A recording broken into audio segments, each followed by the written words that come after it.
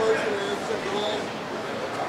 just feel like uh, I just feel like all the hard work we went through uh, during the off season, during practice, it paid off in the end, and it was just a, bit, a great feeling. So what's the first thing that you said to anybody when you wanted all players? I was just excited, man. I don't even know what I was saying, but I was excited and happy for my team. Tae, what was the biggest adjustment to what you guys saw from Notre Dame tonight? Uh, we just knew uh, they were going to make plays. We had to stick together, just stay together, and we just had to make more plays than they did. This was a next man up thing. You guys had bodies going in and bodies going out. What did you see about new guys shuffling in there?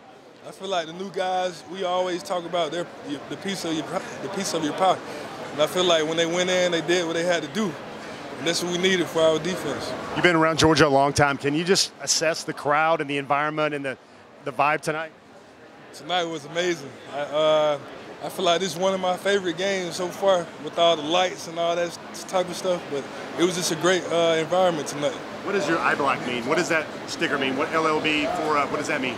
It's where I'm from. Uh, my brother passed away a long time, uh, not a long time ago, two years ago, and I mean I just wanted to represent for him. What does it feel like for you to finally be doing this on the stage at Georgia in a huge game?